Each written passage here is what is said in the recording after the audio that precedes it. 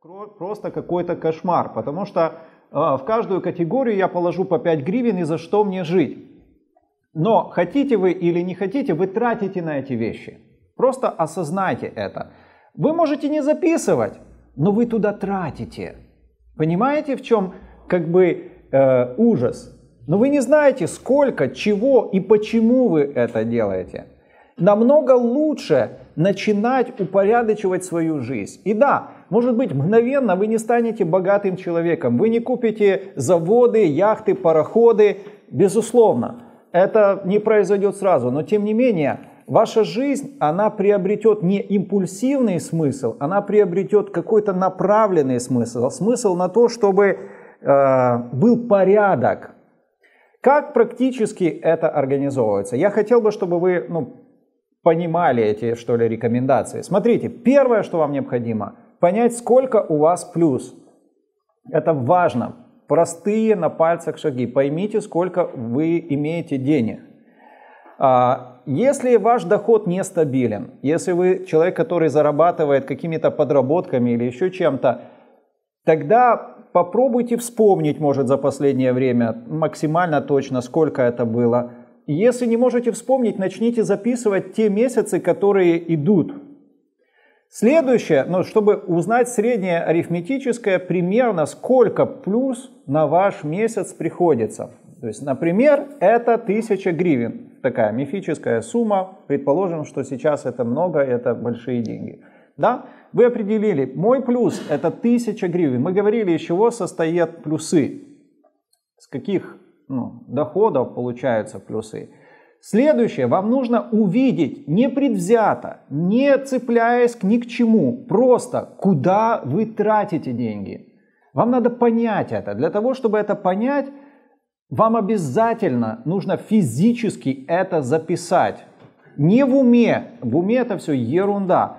Физически это должно выглядеть. Предположим, берем самый бюджетный вариант, самый простой. Листочек в клеточку, в тетрадочку, тетрадочке, который вы расчерчиваете и пишете. Первое, 01, 15 и описываете хлеб, спички, молоко, проезд. Вот как есть. Не надо давать этому оценку. Это не ваше дело в этот момент дать оценку. Закончили месяц, предположим, да? Хорошо, Возьмите два месяца и возьмите три месяца. Бюджет может быть делом таким, ну, не быстрым, но это важный механизм, который надо настроить. В любом случае, результат вы не почувствуете сразу. Нужно время. Нужно время, чтобы, вот, знаете, как бы выяснить, какая сумма куда оптимально подходит. Потому что вы не знаете, например, когда вы тратите сейчас, сколько денег вы тратите на еду. Вы не знаете, сколько денег вам нужно на одежду. И чтобы это понять, а мы говорили, что категории расходов бывают э, постоянно, то есть ежемесячные. Мы говорим с вами о периоде в месяц, да, хотя бюджет он может строиться на большие сроки. Обычный бюджет в государстве строится на год, но обратно же, когда государство планирует расходы, оно знает, сколько оно получит с этой отрасли, с этой отрасли, от торговли, от налогов. Это вот уже есть данные об этом государстве, и эти данные позволяют заложить на будущий год. Понимаете, да? То, что мы слышим, например, принят бюджет на 2015 год. Как они принимают? Они принимают из расчета доллара, какой будет курс. Они принимают, что они смотрят же, как экономика развивается. Есть ли предпосылки для развития той отрасли или нет, какую прибыль она принесет. То есть они делят прибыль, которой еще нет, но они знают, что экономика-то работает, правда? То есть она должна принести прибыль. Предприятия это работают, газ добывается, нефть добывается, лес добывается. То есть есть какое-то развитие, и это развитие позволяет тебе предположить, сколько, куда нужно и как потратить. Это если говорить вот так, как говорится, на пальцах для нас, простых людей, простых смертных, не вдаваясь в космическую экономику. Итак, выяснили, выяснили, сколько денег уходит. И нормально, если вы вдруг поймете, что уходит больше, чем вы зарабатываете. Мы не даем сейчас этому ну, как бы оценку, мы просто собираем данные. Следующее, следующее, что необходимо сделать, необходимо составить список вещей, которые обязательные для меня, категории. Мы говорим идеями категорий. И мы говорили о том, что в разных семьях эти категории будут отличаться. То есть, если ты работаешь возле дома, и ты можешь пообедать дома, то, соответственно, тебе не нужно, например, обеды записывать, ну, подразумевается где-то там столовой покупать. Если и транспорт тебе не нужно записывать, это будет совершенно другая сумма. Ты можешь положишь туда 20 гривен, потому что периодически ты ездишь в поликлинику раз в месяц, например. Пускай там лежит 20 гривен, надо будет возьму. Но если для кого-то это принципиально, то это будет другая сумма, этот конверт будет иметь совершенно другую значимость. Итак, вы определяете две категории конвертов. Категория конвертов обязательно постоянно. И категория того, что периодически или желательно. Но обратно, периодически, бывает периодически постоянно, бывает периодически желательно. То есть вы определяете важность. И следующее, что вам необходимо посмотреть, сколько вы потратили денег. И вы можете записать, например, а, еда. Посмотрели чеки, калькулятором посчитали. На еду у меня ушло 800 гривен из 1000. Ого-го. Развлечения. Вот в этом месяце я себе шиканул, короче говоря, купил вот это, вот это, вот это. На косметику, например, которую я трачу. Мы здесь не написали ее, но вот как Наташа говорит, вот а я хочу, чтобы у меня была косметика. Да пожалуйста, вы можете дописать сюда еще 15 каких-то категорий. Вы можете это более просто объединить в какие-то, знаете, э, более широкие понятия. Но я хочу вам сказать, чем уже понятие, тем э, легче его контролировать. Что я имею в виду? Например, мы берем коммунальные, да, заводим такой конвертик, коммунальные, и подразумеваем, что там интернет, телефон и все-все-все, и вводим там, например, э, каких-то 10 назначений. Мы рискуем, что мы в какой-то момент можем потратить больше во что-то, при этом оставить открытым какую-то другую сферу. Уловили идею, да? То есть, иными словами, ничего страшного, если у вас их много, этих категорий. Просто это будет э, от вас зависеть. В любом случае, вам нужно быть внимательным к тому, чтобы исследовать это и управлять всем этим вопросом. Итак, по категориям вы расписываете реальную ситуацию, чего насколько уходит. Ну, то есть на еду столько-то, на одежду у меня ушло столько-то в этом месяце. Вы просто описываете ситуацию. Следующее, что необходимо, это сесть и подумать, сколько реально мне нужно. Вот здесь вот есть разница между словом «я хочу», «я хотел бы» и сколько реально мне нужно потратить на вот эту, эту или эту категорию. И описывайте это в конкретных цифрах. Вы должны понимать, что если вам не хватает, у вас фактически есть два выхода, очень простых. Либо зарабатывать больше, либо тратить меньше. Вот, понимаете, да? Либо нужно искать еще одну работу, больше работать, либо тратить в каких-то категориях меньше. А для того, чтобы знать, в каких категориях, мы вот это все и с вами исследуем. Исследуем. Берете, идете на почту, покупаете 15-20 простых конвертов и подписываете их. Подписываете их. Итак, подписали и вкладывайте, когда получаете свою тысячу гривен, вкладывайте в каждый конверт в соответствии с того, э, с тем планом, который вы планируете. То есть обратно, вы предполагаете, что вам хватит, например, на еду столько-то денег, да? Предполагаете. Я, как говорил вам, я рекомендую еду разбивать по неделям. И, и помнить, что есть месяцы, где 5 недель есть. Соответственно, ваша зарплата наступит на неделю позже, если она у вас фиксированная более-менее. Поэтому денег должно быть больше. Итак, вы разложили. Что вы делаете следующий месяц? Вы по-прежнему записываете свои расходы. И я вам хочу сказать, что для того, чтобы более-менее прийти к реальным цифрам, к реальным суммам, к реальным, ну как бы к реальной картине нужно как минимум полгода. Вы же понимаете, что это ну как бы система. Нужно понимать, как она работает. Очень скоро вы начнете чувствовать вот эту разницу. Вы, вы будете видеть, например, что к концу месяца э, вот здесь у меня остались деньги. Оказывается, ну, мне не надо столько, поэтому я могу перекинуть вот такую-то сумму, например, 5 рублей, 10 рублей, куда-то в другую категорию, которая у меня слабая, которая у меня открытая. И только после того, как вы закрываете все вопросы с вашими нуждами, с теми вещами, которые вы не можете игнорировать, вы обращаете свое внимание на вещи, которые приятные для вас, ну, скажем так, на повышение вашего качества. Качества. Вы можете добавлять больше денег в развлечения, вы можете добавлять в какие-то другие категории, которые вы посчитаете, подарки, например, вы можете добавлять. То есть можно жить без этого, правда?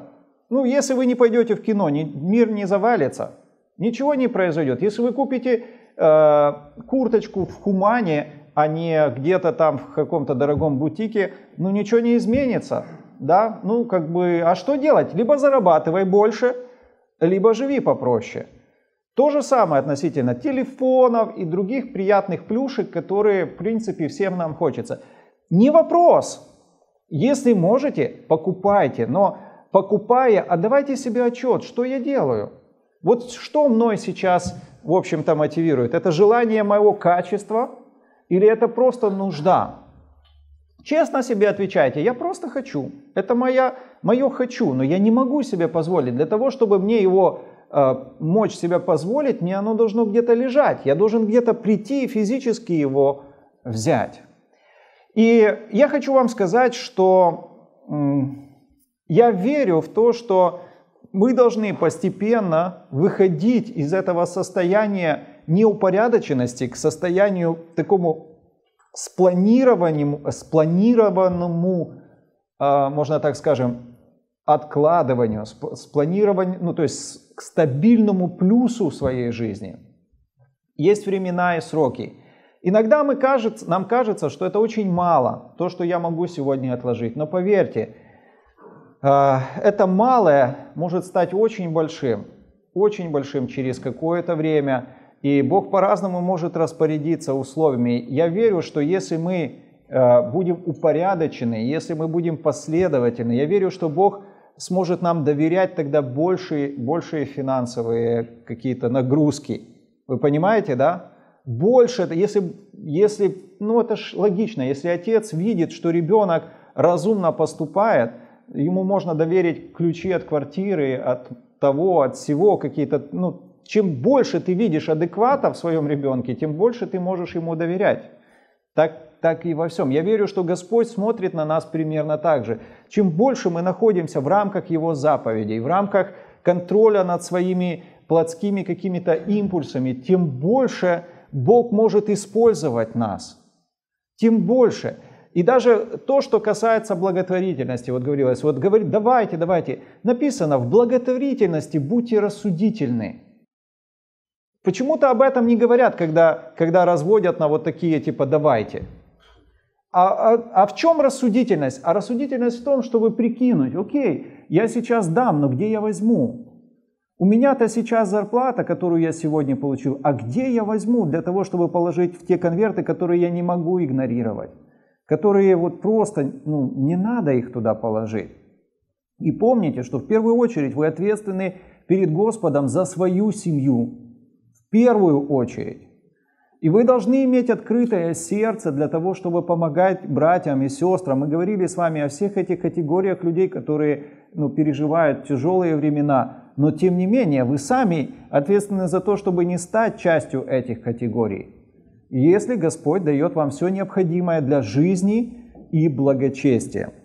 Поэтому знаете, притчи 21 глава 5 стих говорит, «Помышления прилежного стремятся к изобилию, а всякий торопливый терпит лишение». Притчи 21.5. Помышления, то есть мысли, размышления прилежного стремятся к изобилию, а всякий торопливый терпит лишение. Притчи 6 глава 6-8 стих говорит, Пойди к муравью, ленивец, посмотри на действия его и будь мудрым. Нет у него ни начальника, ни приставника, ни повелителя. Но он заготавливает летом хлеб свой, собирает во время жатвы пищу свою. Он заготавливает, смотрите. Есть мудрость просто даже в природе взять и заготовить на то время, когда тебе нужно будет кушать. Сегодня много, а что будет завтра? Завтра будет зима, возможно, но это поможет тебе пройти этот период. И я верю, что хорошо, когда вы поставите, например, своей целью постепенно отложить столько, чтобы, например, в течение года вы могли спокойно не работать. Чтобы, вот представьте, что так случились обстоятельства, что вы не работаете. Хорошо, если у вас есть фонд, который, ну, НЗ ваш, который позволит вам и работу найти, и что-то, ну, как бы пройти это время. Для, я понимаю, что сейчас это звучит вообще космос, да, были бы у меня такие деньги, я бы, но я вам скажу, при правильном, спокойном, целенаправленном планировании это реально. Это реально. И вы же понимаете, что ваше давление на вашу семью, оно будет совершенно другим, если вы знаете, что даже если я сейчас потеряю все, вот всю работу выгнали, кризис, да, что год я имею в запасе, согласитесь, ну, совершенно по-другому жизнь выглядит. Правда? То есть ты можешь ну, что-то снизить. Когда ты управляешь этими процессами, когда ты размышляешь об этих процессах, ты понимаешь, окей, сейчас курс поднялся, все подорожало, а зарплата осталась та же. Что мне делать? Если ты не, не считаешь, ты в ужасе. Но если ты считаешь, ты смотришь, окей, я могу закрыть вот эту категорию, значит я сэкономлю здесь, перекину сюда. Вот эту могу закрыть, могу питаться проще, могу одеваться только в хумане, потому что не хватает. То есть я не призываю вас быть бедными, друзья. Я призываю вас быть разумными в том, что вы имеете на данный момент. Вы, вы там, там, там закрываете. Почему? Потому что вы понимаете, что если вы этого не сделаете, вы не вытянете. И помните, что всегда есть место Божьему чуду.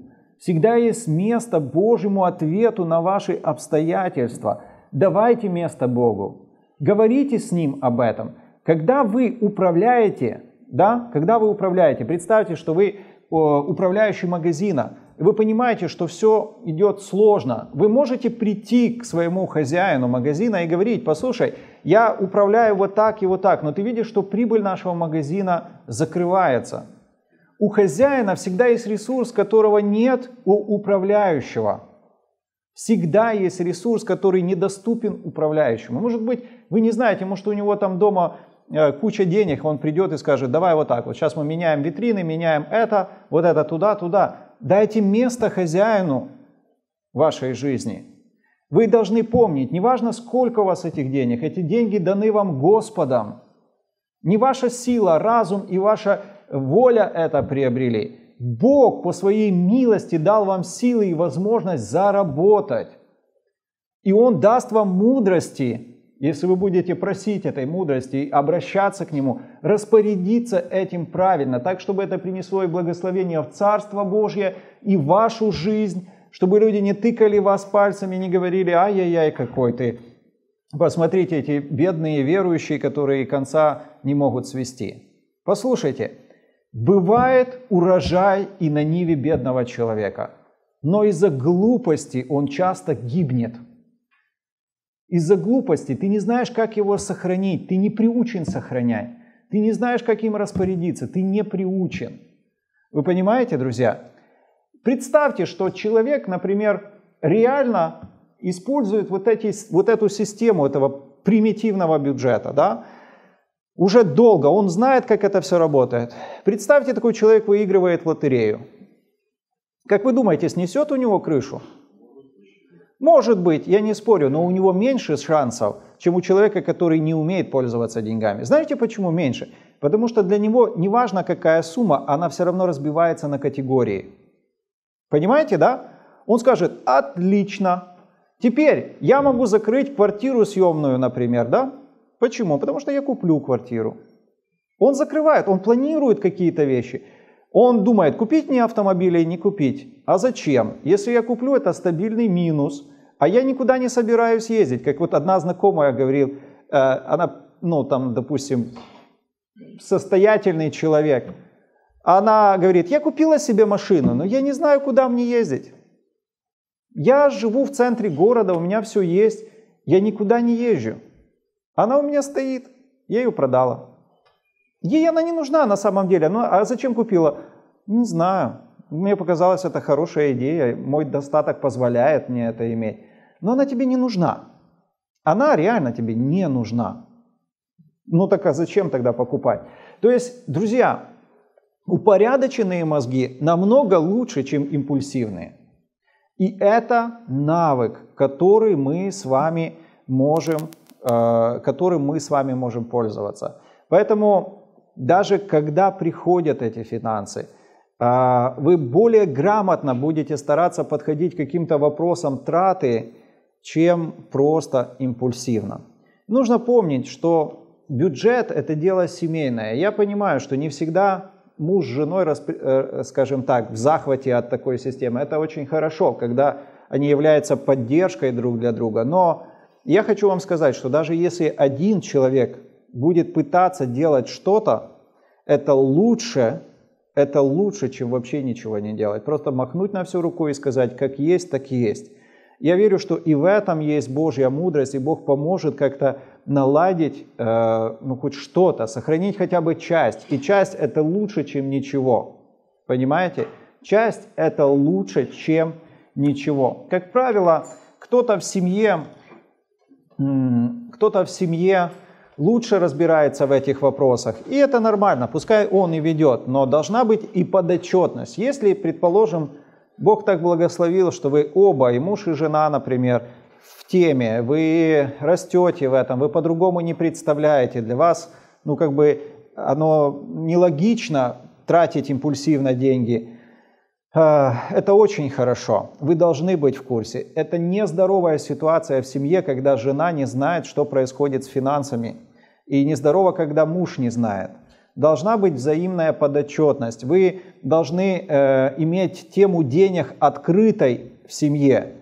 Э, это очень и очень-очень важный момент, потому что нужно понимать, что всякое случается в этой жизни. Предположим, если муж занимается бизнесом, и он не посвящает свою жену в эти дела все, и что-то с ним происходит, попал в аварию, умер. Что делать этой женщине? Просто, это капец, друзья. Те случаи, которые жизненные мы видели, это такая трагедия, потому что человек вообще не знает, кому муж должен, сколько должен. Приходят какие-то люди, говорят, он мне должен 10 тысяч, 20 тысяч, 50 тысяч, а ты не можешь даже проверить. Просто не можешь проверить, показывают какие-то расписки, какие-то обязательства. Это все из-за того, что не было открытости, из-за того, что он не считал нужным. Его безответственность привела к тому, что сейчас его семья, ему он как бы ушел, он все, он до небе с Господом, если верующий. А что делать здесь? Что делать этим детям? Что делать этой супруге? Очень страшно. Поэтому, друзья, в таких случаях не будьте глупым человеком, посвящайте свою супругу. Хотя бы, знаете, может быть в каких-то базовых понятиях о том, что я беру деньги здесь, я, я кладу туда, должен тому столько-то и так далее. Не считайте это э, выше своего достоинства. И знаете что? Сделайте завещание. Звучит так, да? Жестко. Возьмите, сделайте завещание. Пускай ваши дети не дерутся друг с другом. Соберите семью, если вы уже в возрасте, и скажите, вот у меня есть такая, такое вот имущество. Я хочу распределить его вот таким, таким образом. Мы пойдем сейчас и допишем это все у нотариуса. Вот это будет твое, вот это будет твое, это работает так-то и так-то. Мы, мы обходим такие вещи, но знаете что? Упростите жизнь вашим близким, если вы их любите. Поговорите с ним о ваших долгах, если вы их любите. Э, пускай это не будет вашим личным делом, потому что бюджет – я верю, что это дело семейное, семейное. И будьте подотчетны друг другу. А, в любом случае, если вас не поддерживает ваша половина, молитесь за них и пробуйте делать то, что в ваших силах. То, что вы можете для того, чтобы сохранить хотя бы что-то. Я понимаю, что вся эта система, она имеет свои сильные стороны, и здесь есть, э, есть, есть свои нюансы. Молитесь, но в любом случае старайтесь разобраться в этом. Пробуйте читать литературу, которая посвящена э, финансам. Это может быть литература христианского направления, и я рекомендую вам Crown Ministries служение. Это люди верующие, которые целенаправленно их служение направлено на то, чтобы помогать верующим людям э, распоряжаться Божьими финансами. Есть доступны их учения, доступны их книги, Crown Ministries, есть у нас в Украине они. И э, есть, ну, есть литература толковая. Посмотрите, может быть, хотя бы какие-то базовые книги, связанные вообще с финансами как таковыми. Они тоже много их. Э, я не говорю о том, знаете, избегайте таких книг типа «Как разбогатеть за две недели и всех, короче, обмануть», «Быстрый заработок», э, «Таинственный дедовский способ», «Бабушкин способ». Все это бред. Как правило, это просто ну, мошенники какие-то, либо там принципы. Вы помните, что вы верующий человек, вы не можете пользоваться всеми ихними принципами.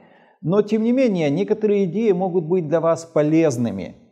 Полезными идеями. Для начала настройте качественно работу вашего бюджета в рамках того, что есть. По тем этапам, которые мы с вами говорили. Помните, что Бог ваш хозяин, хозяин вашей жизни, ваш господин, ваш э, царь, и вы подотчетны ему. И придет такой момент, когда вам нужно будет дать отчет за вот, за вот эти конверты. Даже если у вас их нет, вам нужно будет рассказать об этом. Почему их нет? Я не говорю о том, что, знаете, вы приходите, и он говорит, ну так, расскажи, как ты тратил конверт коммунальный. Э, там. Не в этом дело, вопрос в другом. Ваше отношение к финансам, ваше отношение к пожертвованиям, ваше отношение к распоряжению, семейным вопросам – и пускай вам даст Господь мудрости. Я хочу еще раз сказать, что я открыт э, встречаться с вами, если вы серьезно к этому отнесетесь, э, к тому, чтобы, ну, скажем так, в личных каких-то встречах дать вам рекомендации из того, что я понимаю, как, как наладить свою личную жизнь. Мы можем говорить в цифрах, можем говорить в категориях. Э, пускай Бог вас благословит во имя Ишуа Мессии.